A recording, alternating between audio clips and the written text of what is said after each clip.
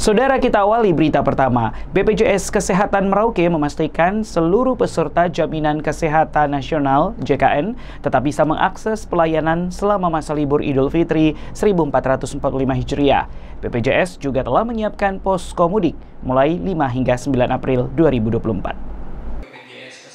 Selama periode cuti bersama dan libur lebaran pada 8 hingga 15 April 2024, peserta Jaminan Kesehatan Nasional dapat tetap akses pelayanan kesehatan yang diperlukan.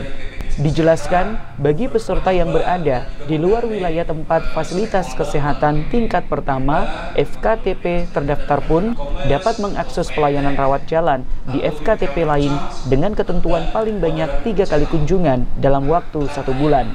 Selain itu, dalam rangka memberikan pelayanan kesehatan kepada pemudik selama libur lebaran, BPJS Kesehatan telah menyiapkan posko mudik mulai 5 hingga 9 April 2024 menambahkan informasi terkait tadi lokasi tiket layanan di masa libur lebaran.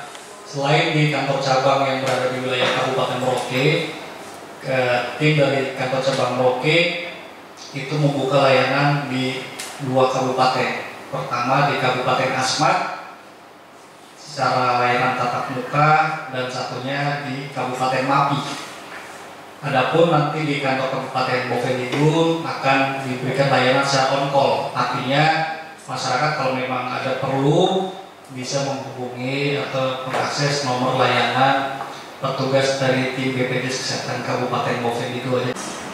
Syarif Jima, Kompas TV, Merauke, Papua Selatan.